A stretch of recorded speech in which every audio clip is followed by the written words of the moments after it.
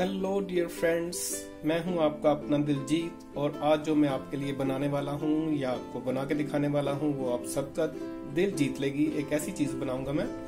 सो so, पहले तो आप इसके कलर्स देखिए जो नेचर ने हमें दिया है। हम उसका जितना भी शुक्रिया अदा करें वो बहुत कम है। इतनी चीज़ें इतनी लजीज और इतनी हेल्दी हमें वेजिटेबल्स दिए हैं कि हम कभी भी खुदा का जो है वो जितना भी शुक्र करेंगे उतना ही कम होगा। और दूसरी चीज़ है कि हम इन्हें बना के खाते हैं। ये हमारी चॉइस है कि हमने क्या खाना है क्या नहीं खाना है। सो so, अगर आप हेल्दी खाएँगे तो ऑब्वियस है कि आप हेल्दी ही रहेंगे सेहत ठीक रहेगी आपकी। उसमें यह है कि कुछ लोग कुछ चीज़ें खाते हैं कुछ नहीं खाते। लेकिन ये वेजिटेबल तो सभी के लिए हैं। सो so, ये मैं इन्हें स्टर फ्राई करूँगा। बहुत ही कम स्पाइसेस बहुत ही कम ऑयल लेकिन जो वेजिटेबल्स होंगी वो बहुत लजीज बनेंगी। ये मैं आपको बना के दिखाता हूँ आज आज। और, ये जो इंग्रेडिएंट्स मैंने लिए हैं रेड और येलो बेल पेपर्स हैं। एक अनियन है ये, एक मैंने लिया है टमाटो ये है कैप्सिकम ये ब्रोकली है, ये पनीर भी लिया है मैंने ताकि कुछ और भी इसमें वैल्यू ऐड की जा सके। ये हो गई मशरूम्स और ये है जुकीनी का पीस सो so, ये तो ऑब्वियस है कि सभी की सभी चीज़ें मैं एक साथ इस्तेमाल नहीं करूँगा। जो ब्रोकली है उसमें से कुछ ब्रोकली यूज़ करूँगा। और जो बेल पेपर्स हैं वो half of the bell pepper I will use each so इन चीज़ों का मुझे चॉप करना है और बाद में इन्हें स्टर फ्राई करना है। बहुत ही कम टाइम में एक बहुत ही अच्छी चीज़ आपके लिए। ये देखिए ये सभी जो वेजिटेबल्स हैं उनको मैंने चॉप कर लिया है। ये पनीर के पीसेस को इतने साइज़ में मैंने बनाया है ये। ताकि अच्छे से पक जाएँ। कैप्सिकम है ये जो बेल पेपर्स हैं ये हम कच्चा भी खा सकते हैं इन, इन्हें पकाए बिना भी। लेकिन ये जो कैप्सिकम है इन्हें थोड़ा पकाना पड़ता है। मशरूम के पीसेस मैंने ऑलमोस्ट सभी को आधा आधा कर लिया है। और ब्रोकली क्योंकि थोड़ा टाइम ज़्यादा लेगी तो ये मैंने थोड़ा इनको पतले काटा है ताकि इसे पकने में ज़्यादा टाइम ना लगे या जब मैं इसे सोटे करूँ तो ये कच्ची ना रह जाए। और ये जुकीनी है, ये तो सबसे कम टाइम में पक जाती है, और ये भी हम चाहें तो इसे रॉ ऐसे ही खा सकते हैं। सो ये चीज़ें हो गई। एक बार फिर से रिपीट कर देता हूँ। ये आगे mushrooms broccoli zucchini capsicum tomatoes onion और ये पनीर के पीसेस इन्हें अब मैं ऑयल में, मैं यूज़ कर रहा हूँ इसमें ऑलिव ऑयल इससे पहले मैंने जो फेसबुक पे डाली थी पोस्ट, वो मैंने बटर में उनको सोटे किया था, लेकिन आज मैं ऑलिव ऑयल यूज़ कर रहा हूँ। सो इन्हें अब सोटे ही करना है और साथ में मैं यूज़ करूँगा कुछ हर्ब्स इसकी सीजनिंग के लिए। ये मैंने अब एक नॉन स्टिक पैन लिया है। इसमें मैं डाल रहा हूँ तकरीबन दो बड़े चम्मच तेल के। ये मैंने ऑलिव ऑयल डाला है इसमें और इन्हीं में ही मैं जो वेजिटेबल्स हैं, उन्हें स्टर फ्राई करूँगा।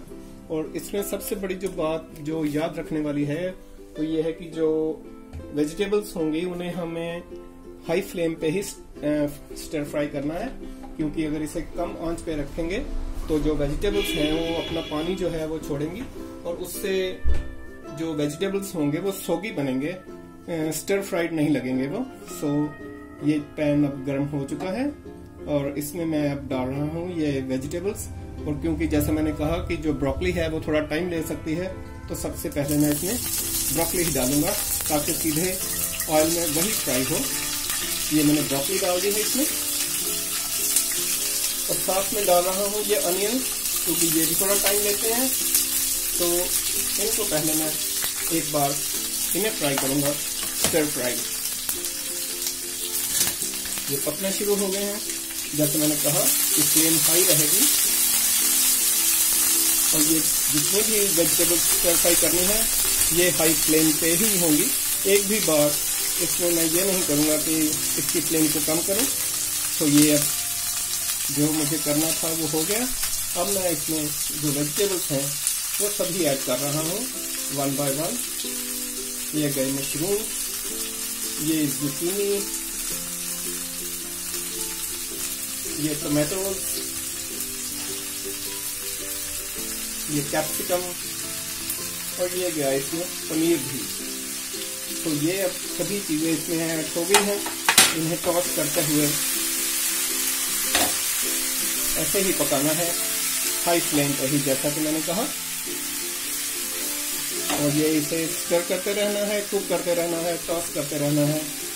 जब तक ये पक न जाए और जो आपको चाहिए, वो डिश तैयार ना हो जाए।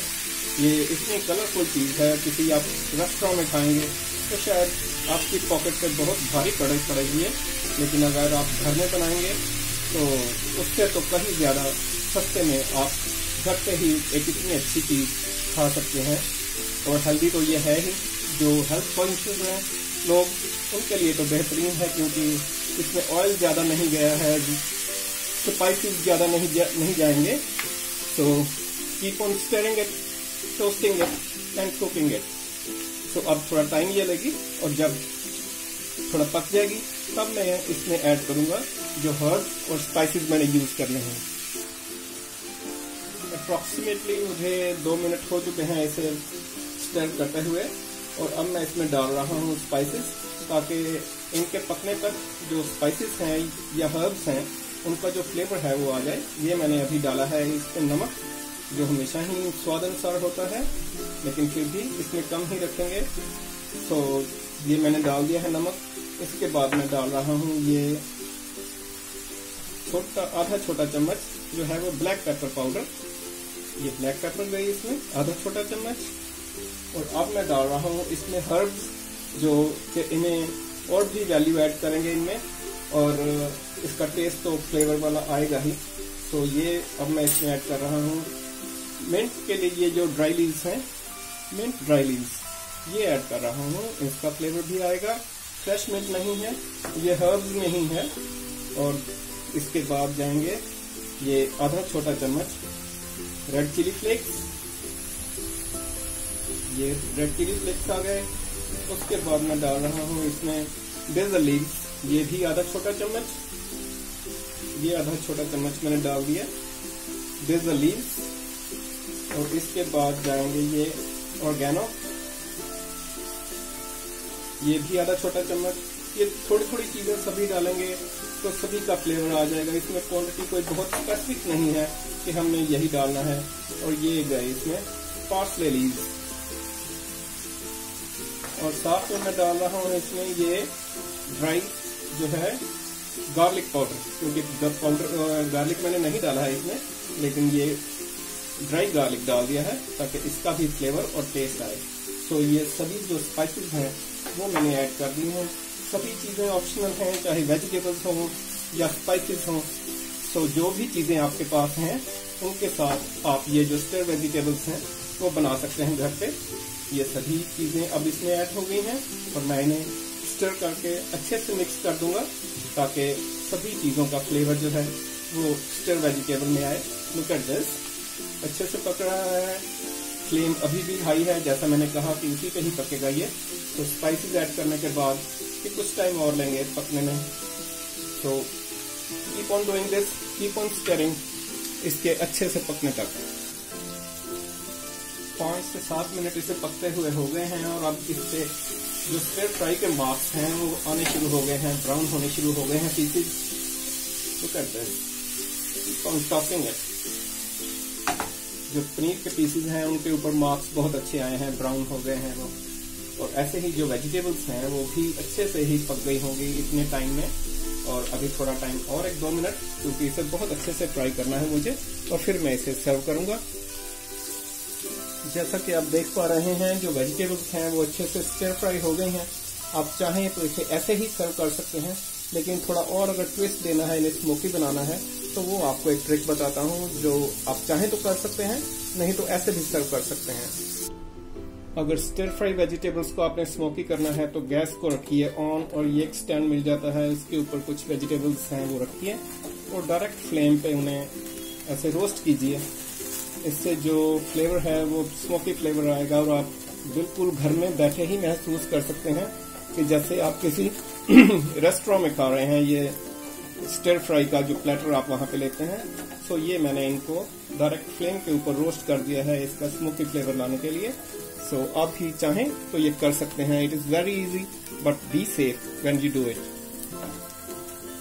direct flame पे इसे रोस्ट करने के बाद मैंने फिर इस पैन में इन्हें डाल दिया है। एक ये हल्का सा टॉस और अब मैं इन्हें सर्व करूँगा बॉल में। So let me do that now ये स्टिर फ्राई वेजिटेबल्स हो गए तैयार और ये इसके ऊपर मैं डाल रहा हूँ हल्का सा चाट मसाला और बस इसे मैं अब सर्व करूँगा।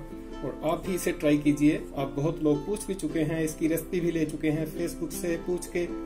लेकिन ये आज मैंने आपको वीडियो ही बना के दिखा दिया है इसका। सो आप भी ट्राई करें। बहुत ही एक हेल्दी वर्जन है वेजिटेबल्स का। आप इसे शाम के टाइम स्नैक्स के तौर पर भी खा सकते हैं। और जो लोग हेल्थ कॉन्शियस हैं उनके लिए तो इसमें जो वेजिटेबल्स ऐड किए गए हैं वो, और जो स्पाइसेस सभी सभी जो हैं, वो बेहतरीन हैं।